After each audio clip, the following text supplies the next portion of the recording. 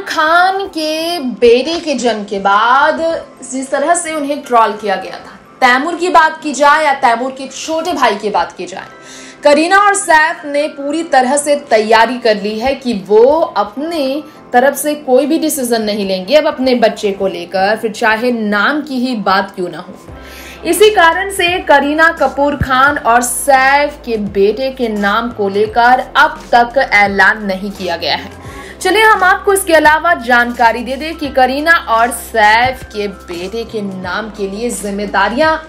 करीना ने अपनी माँ बबीता पर सौंपी है। जी हाँ, एक रिपोर्ट के अनुसार कहा जा रहा है कि करीना कपूर खान के बच्चे का नाम, करीना सैफ के दूसरे बच्चे का जो नाम है, उस नाम को देने के लिए इन दोनों ने, उस नाम को लेकर डिसीज़न लेने के लिए, दूसरे बच्चे को सही नाम देने के लिए, इन्होंने पूरी जिम्मेदारियाँ जो हैं, अपने घर के बड़ों को सौंप दी है। यानी कि अब तैमूर को लेकर जो उन्हें सीख मिली है। करीना ने इंटरव्यू में पहले ही कहा था डिलीवरी से पहले।